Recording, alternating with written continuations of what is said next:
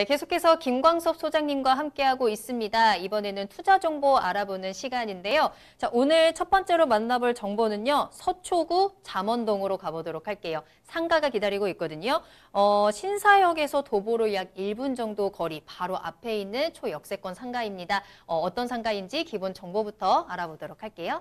네, 서초구 잠원동에 위치해 있는 상가입니다. 일단은 3호선 신사역에서 도보 약 한 1분 정도 거리에 위치해 있고요.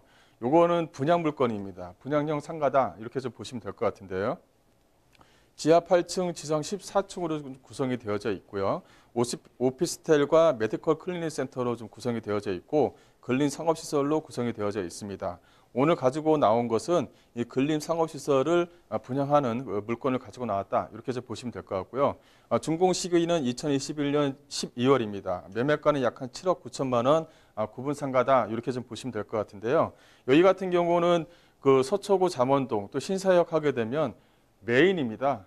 강남, 강남에서도 상당히 메인에 위치해 있는 아, 상가, 구분 상가 물건이다. 이렇게 좀 보시면 될 것 같은데 이게 왜 중요하냐면은 바로 이 회전율이죠. 공실에 대한 회전율. 또 주변 지역의 권리가입니다. 권리가가 뭐 여기 같은 경우는 어, 말만 붙이면 그게 이제 권리가가 될 정도로 상당히 좀 권리가가 비싼 그런 지역에 위치해 있다. 그래서 어떻게 보면은 어, 오랜만에 이쪽 그 신사역 쪽에 분양형 상가 내가 좀 소유 아, 어떻게 보면은 어, 7억이라는 돈으로 메인 대한민국에서 메인이라고 할 수 있는 신사역 쪽 주변의 상가를 아, 가져갈 수 있는 기회를 한번 만났다 이렇게 좀 보시면 될 것 같고요.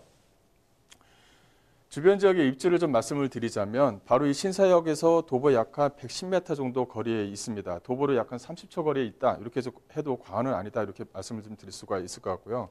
또 7호선 노년역과도 도보 거리에 위치해 있습니다.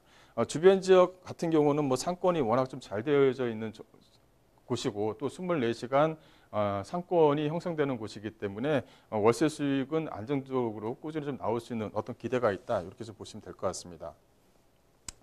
주변 지역을 보시게 되면요. 바로 이 신사역 쪽 주변 지역을 보시게 되면 뭐 유명하죠. 논현동 먹자골목, 간장게장 골목, 시사도 가로수길 이렇게 다 인접이 되어져 있는 부분이 있습니다. 여기 같은 경우는 바로 그뭐 관광지, 그 관광지하고 또 연결되어져 있는 부분이 있다 보니까 관광지하고 구분되어진 부분이 있다 보니까 아, 그런 부분에 대한 어떤 관광 상권도 충분히 가능하다 이렇게 좀 보시면 될 것 같고요. 또 주변 지역을 보시게 되면 이렇게 뭐 비상권, 신사 뷰티 거리라든가 또 간장게장 거리라든가 논현동 목자골목과 인접해 있는 부분이 있다 보니까 이런 섹터 안에 밖에 위치해 있는 것이 아니라 이 안에 이렇게 쏙 들어가 있습니다. 그래서 사람들의 동선을 모두 다 커버할 수 있는 곳에 위치해 있는 부분이 있기 때문에 오히려 만하면 내가 투자해 놓고 임차인들이 과연 월세를 잘 냈을까 이렇게 판단하게 되면 특별한 사정이 없는 한 이 상권 안에 범위 안에 섹터에 들어가는 부분이 있기 때문에 임차인이 월세 수익을 좀 충분히 낼 수 있는 어, 그런 지역에 위치해 있다 이렇게 좀 보시면 될 것 같습니다. 주변 지역의 뭐 배우 어, 배우 역 어, 배우 여건을 보시게 되면 서초구 인근 같은 경우는 약 한 9만여 기업이 인근에 위치해 있습니다. 이 9만여 기업 안에 현재 지금 직장인 수요층, 즉 강남역을 이 용하는 출퇴근 수요층, 직장인 수요층들이 약간 100만 명 정도가 됩니다. 어마어마하죠. 또 이제 주말 같은 경우는 주변 지역 자체가 아까 말씀드린 처럼 관광 상권화가 되어져 있는 부분이 있기 때문에 그 주중, 주말에 어떤 상권을 모두 다 커버할 수 있는 곳에 위치해 있다. 이렇게 좀 보시면 될 것 같습니다.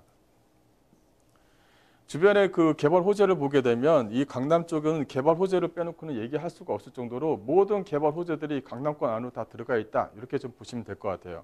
아, 그 중에서도 이 신사역이 상당히 좀 중요한데 현재 신사역 쪽 주변으로 해서 신분당선이 현재 공사를 하고 있습니다. 현재 강남까지 연결이 되어져 있는 부분인데 강남에서 신사까지 1차로 지금 현재 공사를 하고 있자 공사를 하고 있는 부분이 있으니까 2022년도면은 어, 착공될 예정입니다. 이렇게 그 모든 철도 노선이 강남 쪽으로 연결된다는 것은 강남과 연결되어 있는 지방에 있는 지방에 있는 그 수요층들이 소위 말하면 다 강남 쪽으로 온다는 것이죠. 오기가 편해지니까요. 그리고 그만큼 어, 빨대 효과가 충분히 있는 지역에 위치해 있는 물건이다. 이렇게 좀 보시면 될 것 같고요. 그또 하나는 바로 이 위례 쪽과 연결되는 위례 신사역에 대한 경정 처리에 대한 개통입니다. 이 상당히 좀 애로사항이 많았었는데 요게 저 2019년도 7월 달에 이제 민간 사- 어, 확정이 됐고 지금 현재 좀 민간 사업주로 지정될 것입니다. 이 위례 신도 위례 신사역이 왜 중요하냐면은 보시다시피 위- 어, 강남 쪽에 상당히 좀 유명한 강남 쪽의 모든 어, 중요한 부분들은 다 걸쳐 지나간다 이렇게 좀 보시면 될 것 같아요. 그래서 이렇게 위례 신사선 또 신분당선 이런 어떤 연결이 신사역과 바로 마주치기 때문에 거기에 따른 어떤 그 집가 상승 또 권리가 상승이 또 크게 형성된다 이렇게 좀 보시면 될 것 같습니다. 예상 가격을 좀 말씀을 드리자면 현재 7억 9천 100만 원대 어, 부가세 별도로 해서 진행을 하고 있고요. 예상 임대가는 한 4% 정도로 잡았습니다. 한 6천에 한 230만 원으로 잡았고요. 현재 뭐 대출과 어, 대출과 보증금을 활용하신다면 어, 실투자금 2억 5천 6백만 원대 이렇게 좀 되어져 있는데 현재 좀 내용을 보시게 되면 이 분양 상가입니다. 그렇다 어, 내용을 좀 보시게 되면 계약금 10%에 어, 건물이 준공됐을까지 중도금 무이자로 진행이 되고 준공되고 이후 나서 이제 잔금 지급이 되기 때문에 어떻게 보면 이 상당히 좀 소액으로 해서 접근이 가능한 그런 물건이다 이렇게 좀 보시면 될 것 같습니다.